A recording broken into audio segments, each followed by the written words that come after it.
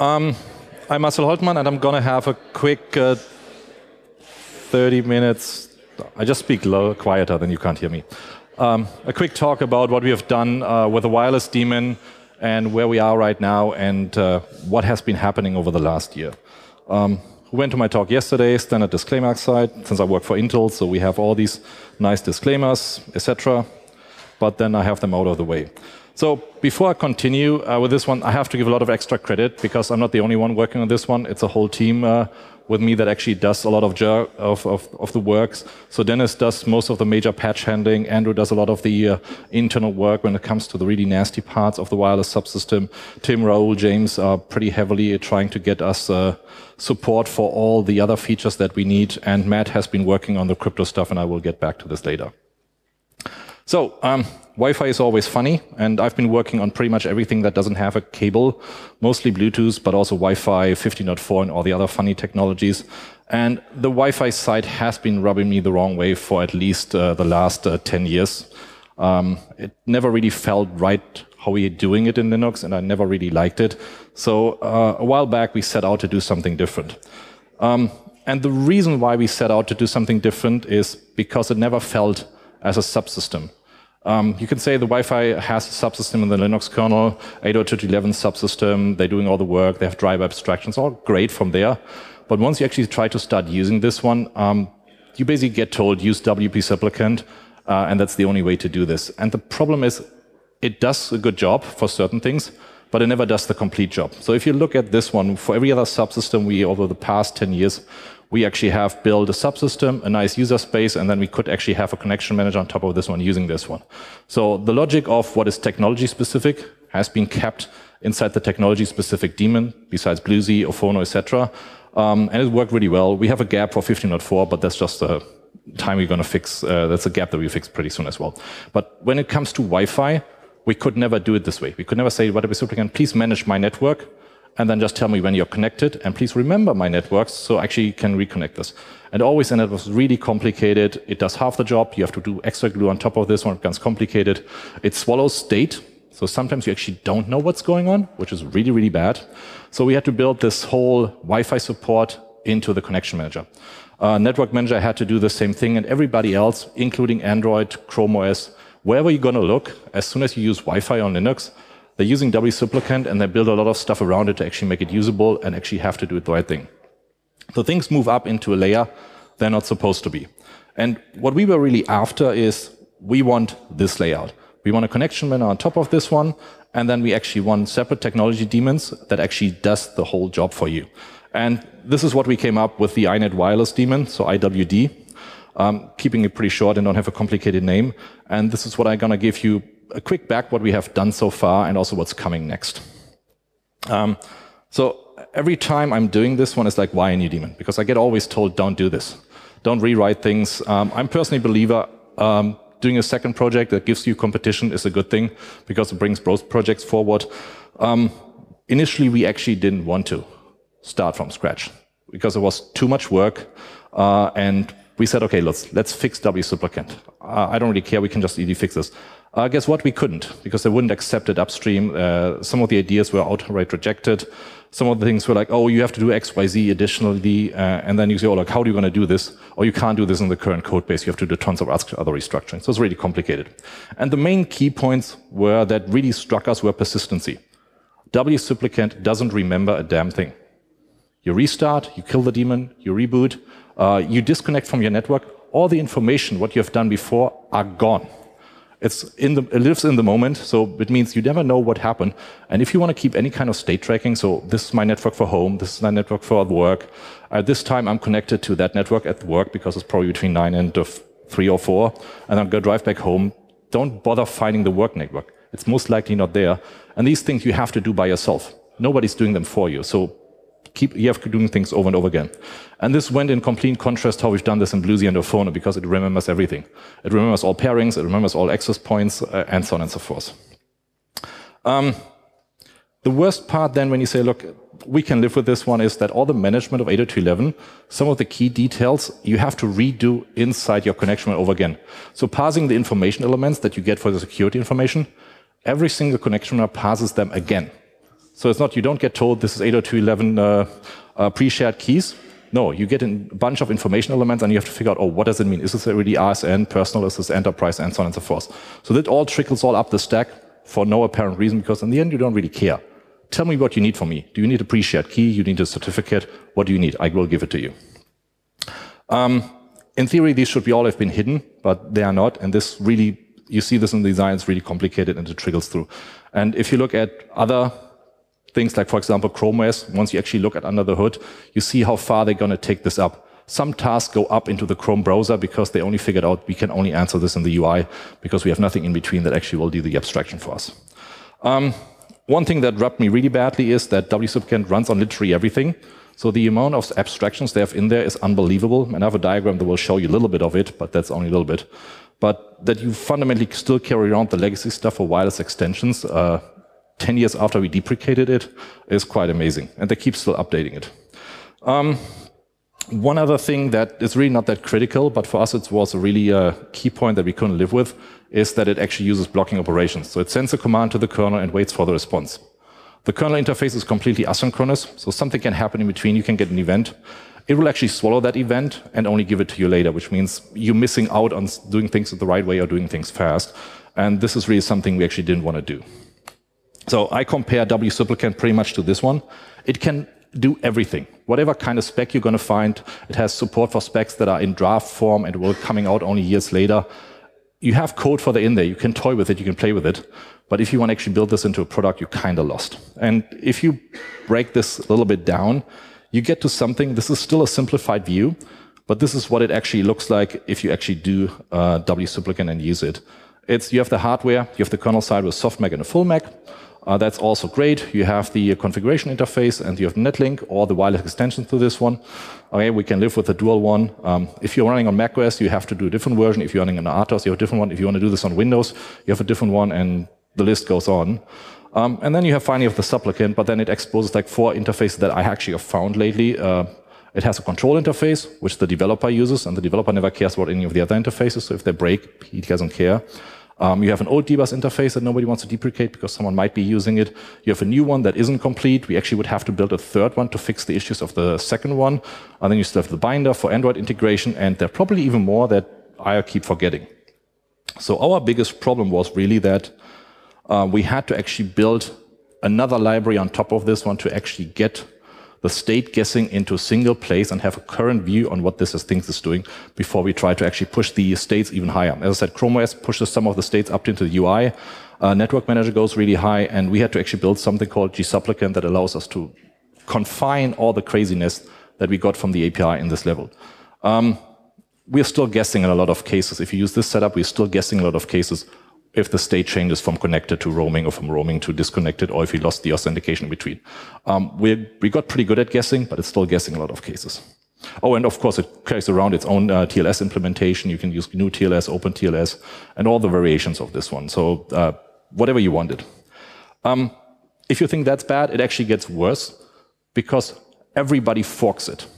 I mean, every silicon manufacturer has their own version of WSUPLICANT because they actually make it hardware dependent at that point, which makes it even worse.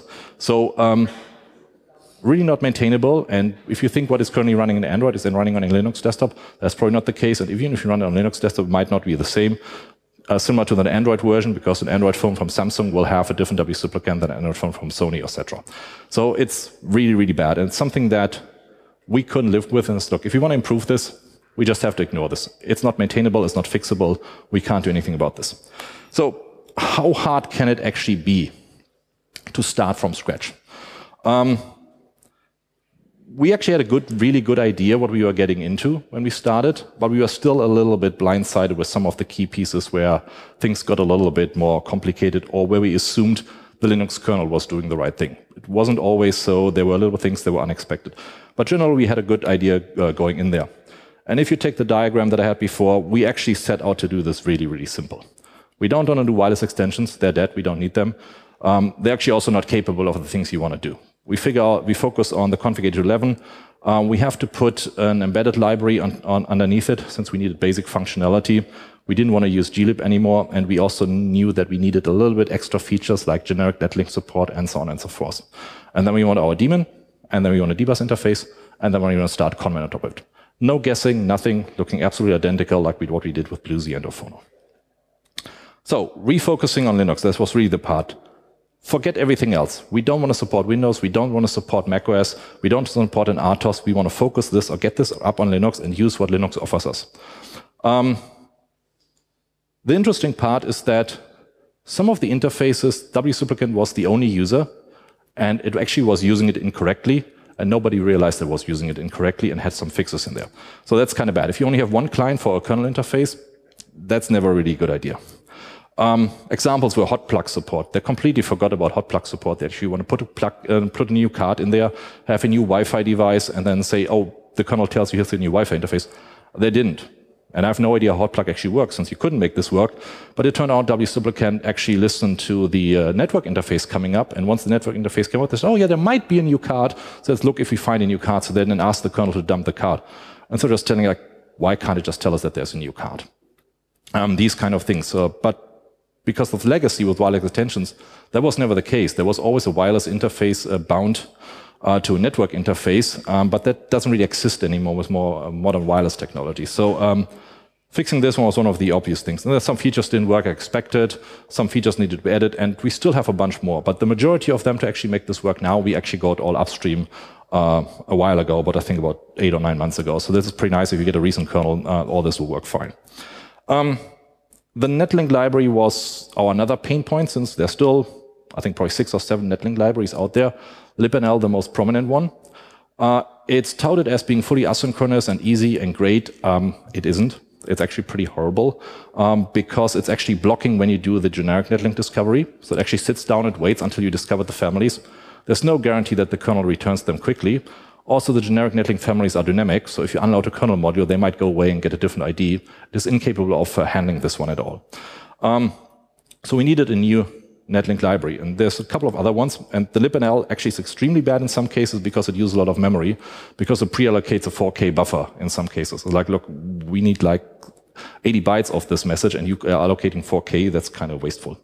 Um, so we said, okay, we need something new for this one as well. Um, so the, we already had the embedded Linux library worked out as more as a pet project to turn the other projects away from glib. Uh, but IWD was the starting point and actually drive this further. So we had to put in standard stuff, main loop handling, signals, ring buffers, hardware database integration, hash tables, all these fancy stuff that you need no matter what you want to do. Uh, but we also put netlink support in there. And once you actually redo the netlink support, not using libnl, it actually becomes super easy and super small. Same as for the generic netlink, and you can actually discover and rediscover families and will tell you, actually, your family went away because you unloaded the kernel module as an unenforced. So you have the right ID tracking. It works in that, was, in that case, it works similar to dbus, where you actually have uh, services coming and going at the time you want, except that's a kernel service at this point. Um, we said we don't want to use libdbus. Um, maybe some people can relate. It's not an easy interface to use. And um, was one of the things, how hard can it be to write a dbus client? Um, pretty hard, actually, since that protocol uh, makes you want to jump off a bridge at some point. Um, so uh, I don't know, not many people actually have rewritten that from scratch, but some people have. Uh, you have my sympathies, trust me. Um, especially you want to do this zero copy. Um, if you want to do this zero copy and somebody reaches the case, it's like, who has designed this protocol? Why can't I do zero copy uh, over that array? Uh, you really drives you mad. I think we managed sort of, but it has native dbus support in there, so don't we have to rely on anything else, which decreases our dependencies quite a lot. We did logging while the journal and internal debugging and uh, uh, something like dynamic debug, etc., and so forth. Source code is on kernel.org since a long time. We have done releases on this one, so this is all good. We are pretty happy with this one. So with this one uh, all figured out and all done, we actually were able to do wireless connections really quickly. You don't believe, uh, I think it was a, a two or three days and we had the first wireless connections up, including card discovery, creating the interface, setting it up, scanning, grouping the interfaces. And that was really, really quickly you got it there. You could actually, if you have an open network, you could connect to it, run DHCP, and you said, wow, this is great. Um, but then the fun part came is like, so how are we going to do the rest of it? Because we actually have to tell, we have to handle the keys inside the kernel. We have to figure out everything else. We also do the rest of it.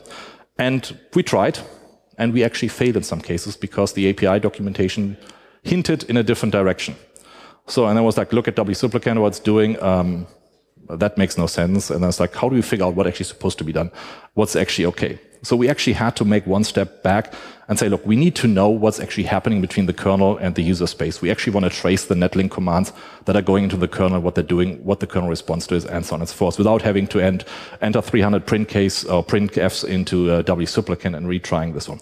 So luckily for us at that point, we had uh, the netlink monitor driver available. Um, and so you could hook into any kind of netlink message. Uh, it sounds really easy, but it was rather complicated because it gives you pretty much everything. So you get route netlink, you get netlink, you get uh, uh, NL211, you get every netlink messages if you're unlucky. So you need to play a couple with filters. Um, but at the end of the day, we actually figured this out. And even without any progress, that we actually got a monitoring tool to figure, out what's actually going on between the daemon and user space and the kernel was already a great achievement. Um, we added also EAPoL support for this one, so you can actually debug what's the uh, four-way handshake is doing, which really helped us to figure out, okay, this is going right, it's going wrong. And we're using this one for a lot of development where you actually have an access point that behaves badly or a client behaves badly, and then we can figure out what's going on. Um, it's pretty simple. It looks like the uh, like a uh, the Bluetooth monitoring tool, which we copied some code from it. This is an example where you just scan for this one. So the supplicant says, uh, "I want to uh, scan it says I want to trigger the scan. It gives you the frequencies and the uh, SSID it looks for. It will tell you, okay, that actually worked. Um, and then it will go, uh, the scan completed, and now you can go start collecting the results. The interesting part is you also get the notification even if you don't the active per, the active daemon that triggers it, because you get a notification also that someone else triggered the scanning for you. So even if someone just types in a command line IW scan, you can actually figure the rest out and actually act accordingly instead of trying, oh, something else is scanning now, don't try this again, kind of thing. So with this one in the box, we could also debug how some of the keys are, have been entered, what's happening in the right order, and so on and so forth. Um, guess what? In a lot of cases, wsupplican still does this wrongly because it has no idea uh, uh, of some of these stations that are active or not active anymore, and it tries to delete keys that never have been there in the first place. It's kind of funny to watch in these things. Anyway, we needed to actually get pre-shared keys at least working, so four-way handshake was a mandatory thing. Uh, dealing with an Ethernet port, if your main interface to the kernel is uh, Netlink 811, is a little bit weird.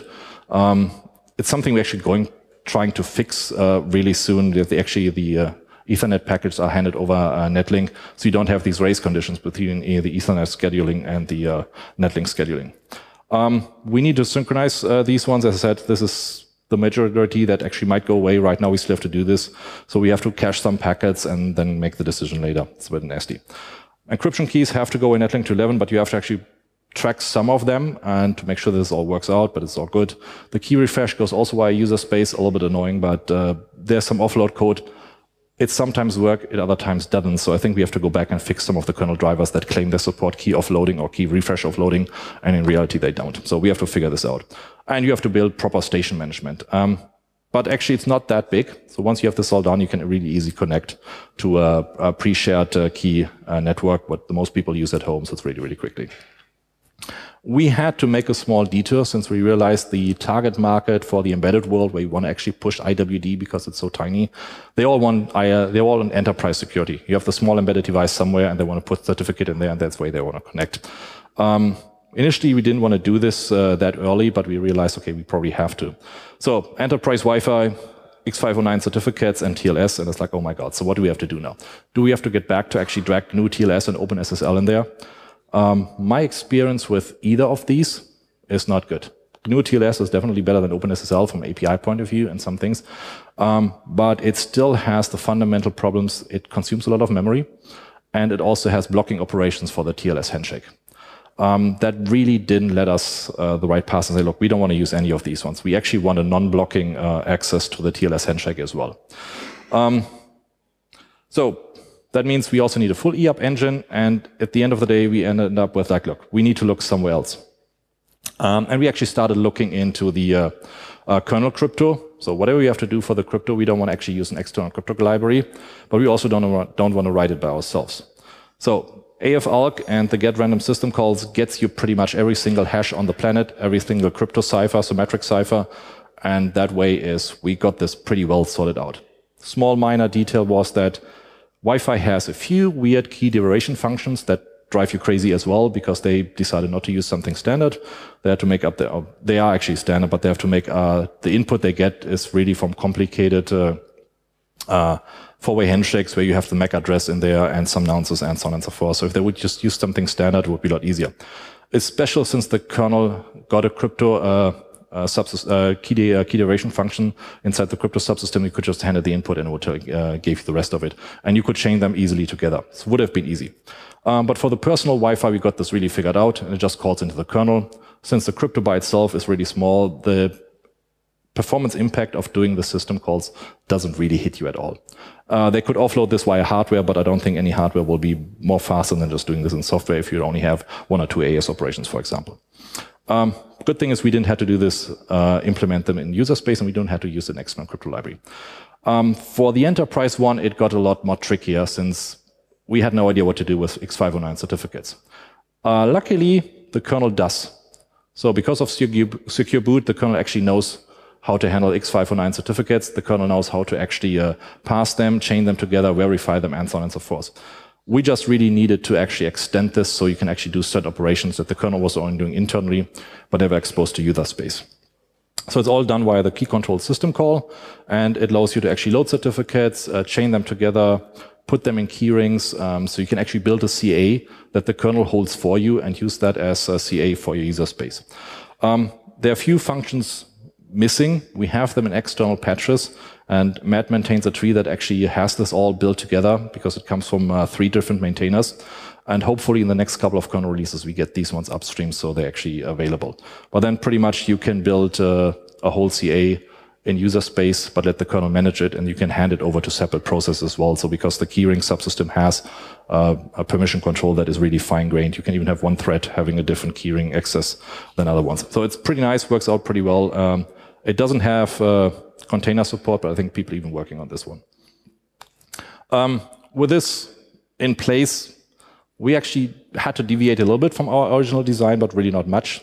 It's pretty much, we actually use additional functionality with AF_ALG and key control that the kernel offers anyway and is available on most platforms. And with this one, we have the crypto figured out. Don't need uh, GNU TLS, don't need OpenSSL or anything alike.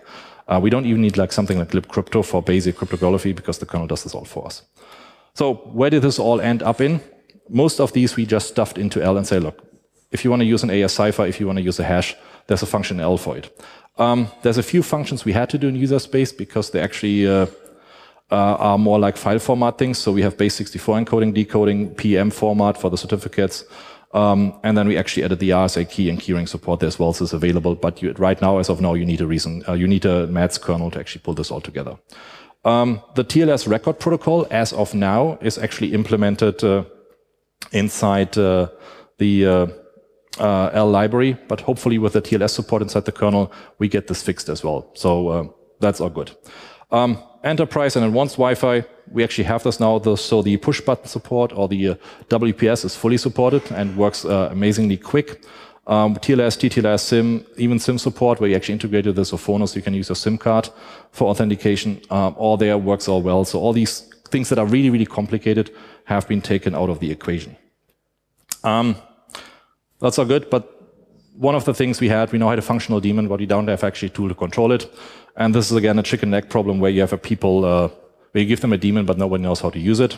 So our IW control client is complete as well. Uh, and you can actually use this uh, with the Python tools together and really use it for actually testing and so on and so forth. Um, the interesting part to note here with the WSupplicant, you really can only have one user. So whatever you put on top of this one has to encapsulate it because any concurrency will completely fail because you stumble on top of each other. So it had to, everything had to go through ConnMan. So you had no chance of just looking what's the Wi-Fi status or get the RSSI updates or anything else. Um, with IW, you can actually do this now because we actually separate this out and you can have ConnMan talking to it. You can open IW control to see what connector network you're connected to. You can have a separate agent for your passphrases. You can even have an RSSI monitoring just connected directly to say, look, I only care what the current RSSI status is and what my network name is because I want to display this in a status bar. So really nice. Um, I only had a few minutes left, so I can try to actually do a demo really quickly um, to see if this works. Um, so you get an idea on uh, what we have. Oops. So where are we go here? Oh, sorry, you don't see anything.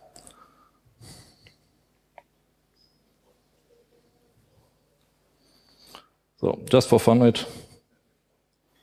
So the monitoring is kind of interesting. Then you see what's going on. Uh, you're not watching at the same time on YouTube. How much? Bigger? All right, let's try this one as well.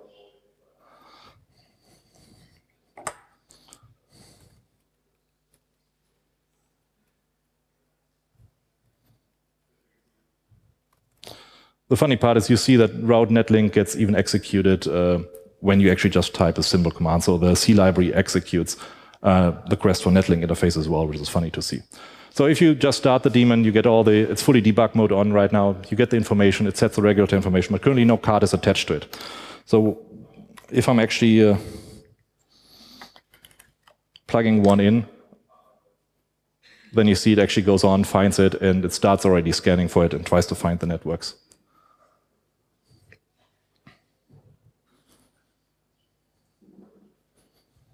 Okay, so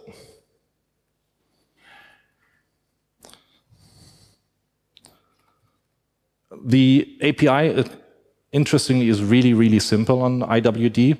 Um, we don't have to do much since it keeps all the states. We really only need to give you a way to uh, um, discover your devices. You see, it found the wireless interface and we can just scan on it. It has tab completion, so it's kind of neat. As I showed the example for, it goes going to uh, the skin and it will eventually succeed. Accidentally, I picked a card with uh, 5 gigahertz support, so it will take a little bit longer. Uh, but you see what's going on. And then you can just kill, okay, please tell me actually what networks are here.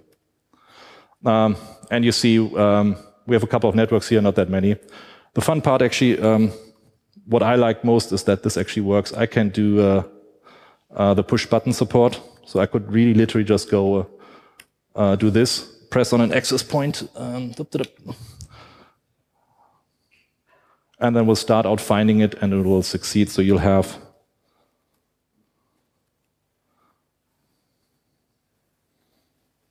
Oh, of course, when I do when I demo this one, it doesn't work.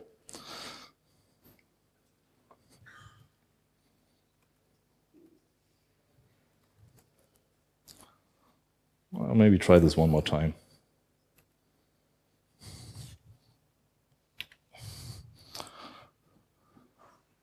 So generally this works really quick. You see the commands going on, you can actually... Uh, okay, oh, awesome. Let's try if this actually works manually. Um, the only thing we haven't really done yet is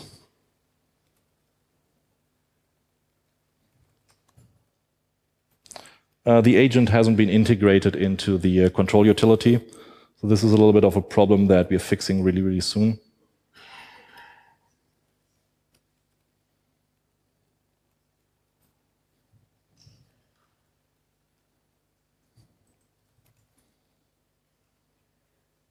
And you see it obviously uh, asks you for the passphrase, you type it in.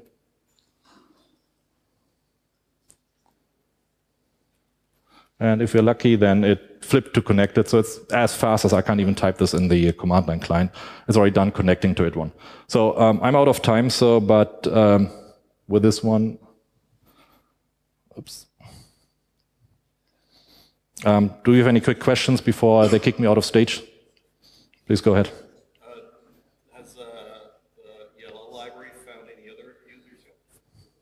Has uh, the ELL library found any other users yet? So yeah, that's a good question. So we actually have this with some of the multipath TCP support. We're actually doing this one. There are um, some uh, other projects in the IT space using it. Um, we actually built a version that you can integrate into oFono.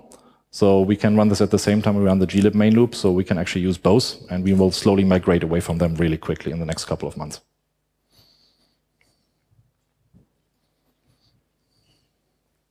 Do you aim for desktop support as well? Okay, so um, we actually, I'm skipping these now. So what we really want after is, there's a few things we actually really after. So uh, we currently have ConnMan support. Last time I said we're not going to do network manager support. That's changed. We actually are working on the network manager support. You will see this really quickly. We have uh, a working prototype where we use this in Chrome OS. So we're taking a few things out there. There's a lot of work to do there. It's really just a prototype. Um, we actually want to drive this even further and see what we can do this one. I don't think it's going to be anywhere in Android, but other, any other distribution could potentially have it really quickly, either if they use Network Manager or if they use a oFono, or for Chrome OS, we actually will make a dedicated version. Uh, so yes, we hope uh, this will be done really quickly. Um, we have some fun stuff on the works. We're actually going to take the EAP engine out and build this for Ethernet-based uh, authentication. Um, so that will happen soon, and we will create a separate daemon so you can actually connect to your corporate network by just plugging in the cable as well. But we really need to take this out because we don't want to use wpa_supplicant for any of the uh, cable-based authentication. Um, as I said before, the agent support will be built into the client as well. Um, um and there's some other uh, advanced features when it comes to roaming, fast transition, etc. that we got to all build them in. Uh, but that's happening uh, pretty quickly. Oh, by the way, before I leave, uh, it's not uh, vulnerable against KRACK. That has been all fixed. We not install a zero key. We are not doing this one and never have to. We actually don't even reply to the uh, message 3 replays that are happening because we just decided to ignore them because they really only happen if you're super paranoid and have an absolutely horrible link. If you have a horrible link, a lot more other things go wrong first before you actually see a replay message. Anyway, with that, uh, thank you very much. Uh, find me offline if you have any further questions. Thanks.